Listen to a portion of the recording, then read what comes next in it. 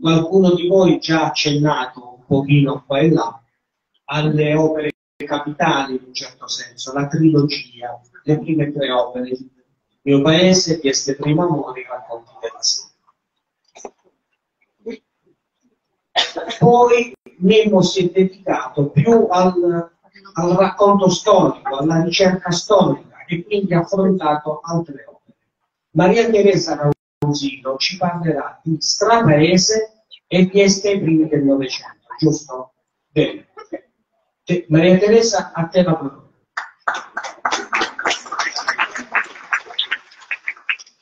Buonasera a tutti. Vabbè, porto i saluti dei soci della società di Storia Patria, qui eh, presenti, c'è Leonora, c'è Michela e c'è Franco.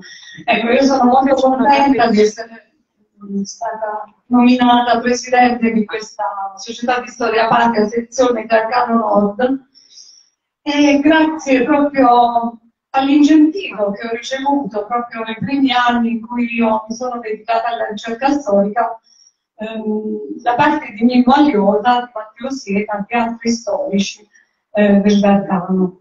Ecco, io voglio ricordare l'opera storiografica di, di Mimmo, perché Mimmo ha dedicato tanti libri a Fieste, però ecco, in questo primo ebbe nel 1999 me lo inviò, io gli avevo inviato chiesa religiosità popolare a Pestici e mi scrisse a Teresa Maria Lauzino, ammirato e grato per le belle cose che fatte inserire anche la mia cara Pestici nei circuiti più vivaci della cultura garganica.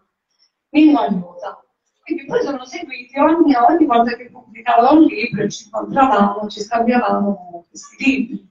Perché voi dovete sapere che è fondamentale per noi che ci occupiamo di ricerca storica vedere, leggere anche quello che i nostri colleghi hanno studiato nei loro paesi, perché basta uno spunto, qualcosa per darci quell'input, quella scintilla che fa nascere un'ulteriore ricerca. Ecco, io penso che ho riletto un po' tutti questi libri che Nino mi aveva, diciamo, mi aveva ehm, omaggiato e devo dire che è stata un'opera eccezionale perché io già conoscevo la Cattanica, tutti i libri del centro Cimaglia, l'avevo letti perché soprattutto quello del 1600 di Pisani mi era servito per la ricerca su pestici perché Pisani non parla solo di Trieste, ne parla di tutto, tutto no, il Gargano. Ecco, quindi ecco, questa ricerca storica delle fonti che lui ha altri ha ripubblicato in anastatica ci ha permesso poi di eh, approfondire i vari disposti sui singoli paesi. Lui nel, in questo libro, di essere nel primo Novecento, che cosa ha focalizzato? Ha focalizzato le figure degli uomini del Novecento che hanno segnato proprio il primo diciamo, decennio, focalizzando su due personaggi importantissimi. Uno, un, il sindaco, penso, parente del nostro eh, Mimi Spinadiana, che si chiamava Domenica Antonio Spina e che fu sindaco di Vieste dal 1800 99-98 fino al 1910, quindi praticamente un sindaco che eh, ha fatto delle cose bellissime per Vieste, cioè ha avviato Vieste proprio sulla, sulla via della civilizzazione, perché eh, Vieste era in condizioni penose.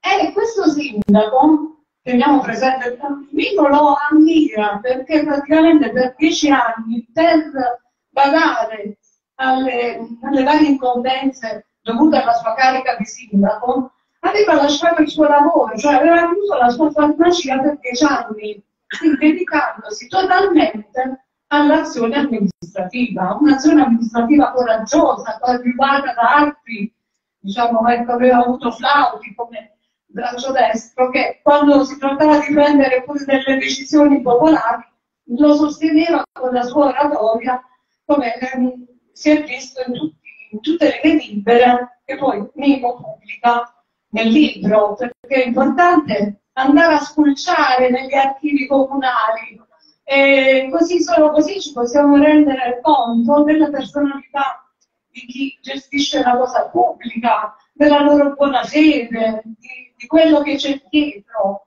E questo lavoro è stato fatto da, da poche persone, ecco, perché gli archivi comunali sembrano, non dico una cosa morta, ma insomma, sono lasciati lì, magari i documenti non sono inventariati, quindi noi eh, siamo costretti, noi storici, proprio ad aprire interi faltoni per trovare un documento che potrebbe diciamo, interessarci. E questo è importante perché le delibere di giunta, le delibere del Consiglio Comunale, tutti i ricorsi, le opposizioni sono veramente importanti. E niente, uno, ecco, uno dei falliti diciamo, di questo sindaco Domenico Antonio era la viabilità.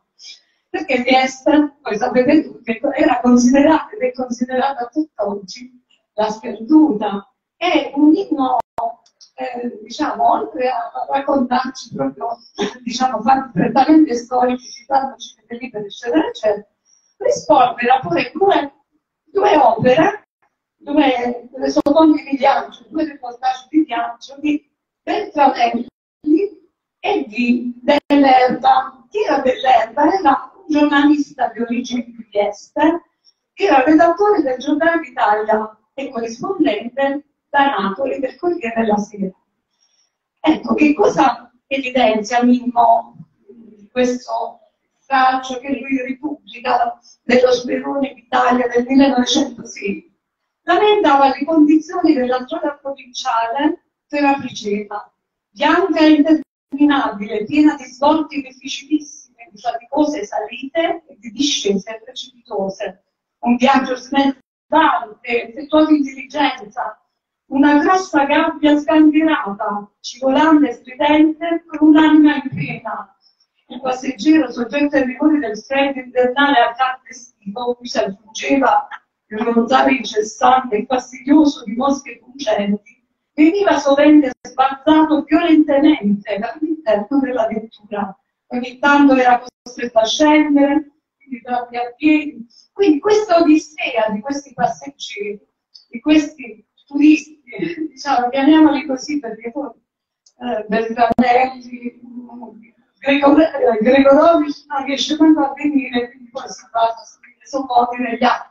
Però Bertanelli ci arriva e quando arriva a Fieste si vede diciamo, accolto come se fosse diciamo, qualcosa di mostruoso, di, di, eccezionale. Quindi quando arrivava il viaggiatore tutti gli estati andavano lì a vedere che cosa era, facevano domande, quindi un pochino questa curiosità, eh, diciamo, verso chi decideva in quelle condizioni di arrivare a Vieste, Vieste paesi, nei paesi del. Ecco, quindi praticamente ehm, che cosa dice Beltramelli? Che queste sono le dolcezze a cui deve sottoporsi colui che abbia in animo di visitare una tra le più belle regioni d'Italia, perché il Gargano è sì un luogo di incanti e di meraviglie, una delle più belle regioni, ma è anche tra le regioni più dimenticate del regno. Quindi ecco questa nota che chiaramente Mimmo ci tiene a evidenziare perché uno dei suoi falli era questo retroterra culturale, economico del sud, in particolare di est, qui era legata diciamo, il diritto a un rapido collegamento con Foggia, con Foggia, con, con, con le stazioni Santivero. Addirittura da Vieste ad Agricena ci voleva ben 14 ore di viaggio. Immaginate, da Agricena a San Severo e a Foggia. Chiaramente questo sindaco, ritornando al sindaco, perché poi una delle opere del sindaco è proprio quello di chiedere la strada provinciale per mattinata che avrebbe diciamo, dimezzato quasi il, il, il tragitto, cioè di percorrenza. E niente, quindi, quindi Mimmo dice, eppure fu qualcuno nativo del luogo che già quel tempo intuì che il paese meno raggiungibile del promontorio avrebbe potuto avere un futuro economico diverso, se soltanto si fosse ovviato al problema. Quindi era domenicando Antonio Spina. Quindi la viabilità fu il punto di forza della sua azione amministrativa e gli si batté anche per costruire un posto commerciale, la ferrovia circumverganica e l'apertura, come abbiamo detto, della via mattinata, più agevole di quella di Avicina. Era un intransigente amministratore della cosa pubblica, si, che praticamente finanziò queste innovazioni passando coraggiosamente i ricchi. E questo chiaramente gli provocò un sacco di problemi, perché nel 1905 lo volevano sbalzare, quindi firmarono un esposto contro di lui, anche coloro che avevano firmato, diciamo, tutte quelle opere pubbliche, perché queste opere pubbliche erano tantissime, quindi c'era anche oltre a, diciamo, a, questi, a queste dichiarazioni di intento, la costruzione della fesseria del municipio, eh, con annesse scuole, scuole elementari, il cimitero, il cimitero è bellissimo leggere le libere eh, contro diciamo, chi gli aveva fatto opposizione perché il cimitero era praticamente chi moriva veniva buttato là e quindi insomma in condizioni igieniche terribili. Quindi anche l'igienicità dei luoghi quindi eh, fa ricostruire il muro vicino sulla, sulla passeggiata attuale. E niente quindi dota la cittadina praticamente di tutti i servizi pubblici essenziali, municipio, scuola, pescheria, mandatorio, cimitero, piazze e viaggi.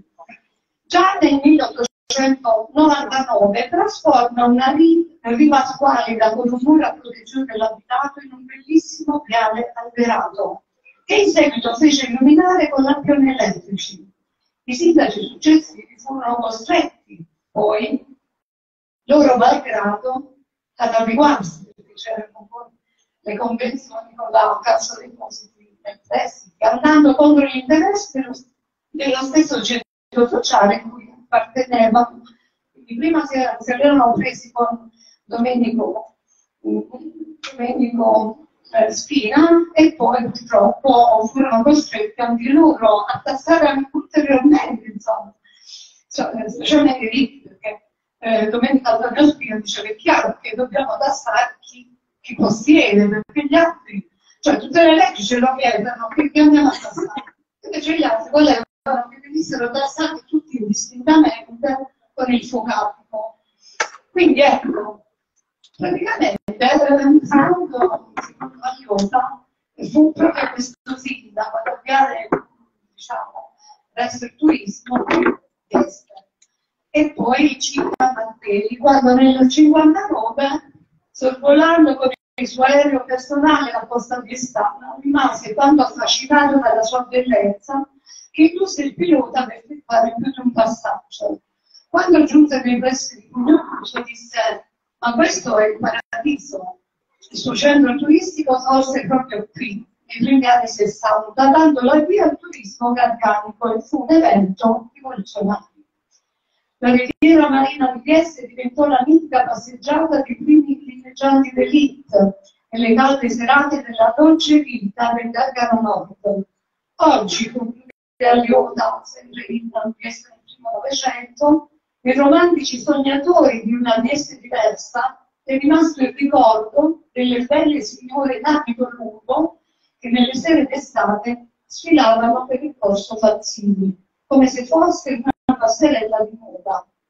Quindi ora il turismo aveva assunto un aspetto omologante, tutte quelle ginnasio, e quindi Mimo lo rimarca. E, diciamo, ecco, elogia anche l'opera di Macro, patron del turismo viestano. Il Pizzone 1, diciamo, il Pizzone 1, secondo lui erano riusciti meglio per una centro di dove bisogna mantenere questo turismo d'elite. Nell'altro libro, quindi io diciamo, chiaramente poi parla di altri personaggi e quindi io non mi soffermo, chiaramente vi do l'input perché siate incentivati, almeno che non hanno letto a leggere oppure a rileggere come ho fatto io, perché chiaramente dopo tanti anni si dimentica, è importante poi riprendere i libri. Nello strapaese,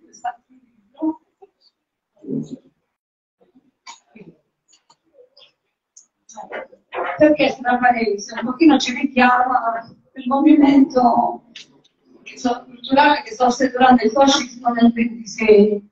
Però ecco, vuole mettere in evidenza il genus loci, cioè lo spirito dei luoghi, e lo fa eh, con la sua narrativa raccontandoci di tanti bellissimi personaggi che lui ha il potere proprio di, di rendere quasi dei camei, quindi è bellissimo un po' il modo in cui racconta diciamo, queste, queste belle, belle, storie e anche storie tragiche, tipo quelle, dei pescatori, ehm, che poi si può approfondire nella, nei trabucchi del Gargano. A proposito dei trabucchi del Gargano ricorderò sempre un piccolo episodio personale.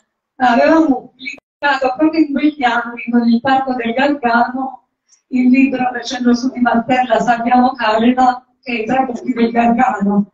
E quando chiedemmo un po' di copie, praticamente ci dettero 15-16 copie.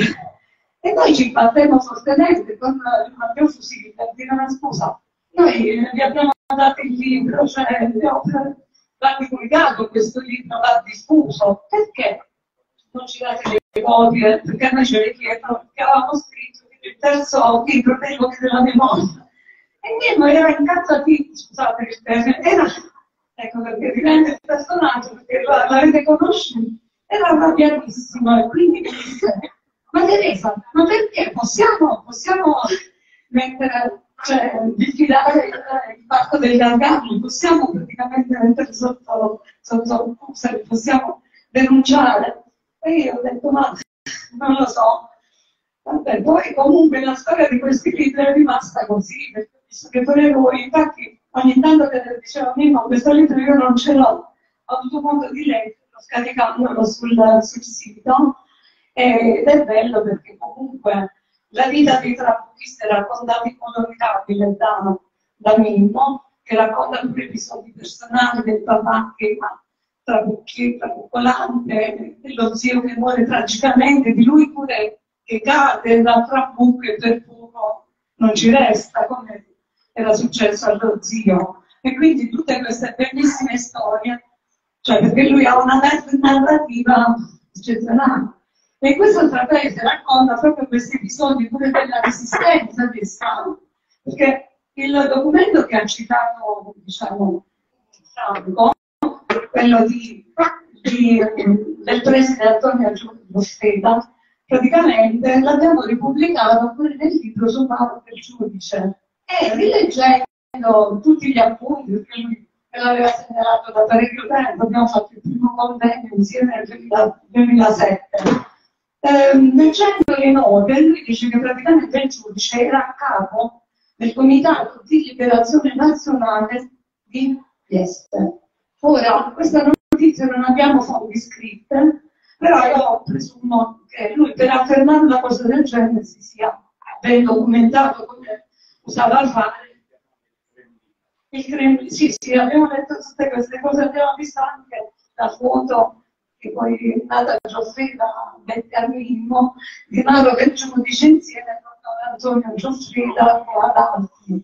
E queste, queste delibere 45 le abbiamo citate proprio nel libro eh, che abbiamo pubblicato, il magistrato che fece frenare il duce, Mauro del giudice, memoria e cronistoria del processo Matteotti, che spero di presentare anche qui a Vieste. E quindi questa notizia è, diciamo, è da approfondire chiaramente, però insomma già Pennetti a Rudi aveva detto che faceva parte del partito d'azione, che avevano fondato il partito d'azione a Vieste. Quindi sono diciamo, piste di ricerca da verificare possibilmente con delle fonti scritte. E niente, quindi da tutto il lavoro di Mimo, quindi eh, voglio solo dire, visto che siamo al 25 aprile, penso che lo leggerà con Pennelli, è una storia che il 17 settembre, dopo l'armistizio, Vieste fu invaso da soldati italiani sbandati. I tedeschi cercarono di allontanarsi rapidamente su una camionetta. Sì, la camionetta proseguì la sua corsa. Il giorno dopo i tedeschi ritornarono in forze per effettuare la rappresaglia.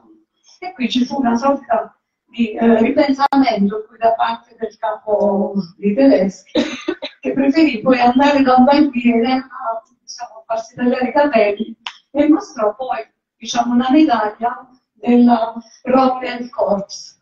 Quindi diciamo, ecco, poi di questi soldati che arrivano dalla Jugoslavia per sfuggire titini anche ai, diciamo, ai tedeschi, e a Vieste ci fu un episodio corale di solidarietà per salvare tutte queste persone che poi chiaramente quando furono diciamo, portati sulle barche vennero mitragliati da, da una flotta aerea che non si capiva bene di che nazionalità apposta. E che stanno, diciamo, i curanti del pericolo aiutarono tutte queste persone a salvarsi. E diciamo, ecco, qui c'è l'episodio di, di Gianfreda e di De Vicenti, che era, lavorava alla dogana, che pure riuscì, e della medaglia, cioè non la medaglia, ebbe un, un encomio e anche un diciamo, riconoscimento in denaro, 9.000 lire, mi sembra, 5.000 lire, Giuffreda. E ricordiamo anche Francesco Antonio Giuffreda, il papà di Antonio, che era il segretario comunale di Vieste. Poi citato insieme a Del Giudice questa delibera come coloro che tennero accesi, accesa a Vieste il lume della libertà in questi momenti così tragici che noi oggi ricordiamo come 25 aprile. Eh, vi ringrazio, applauso.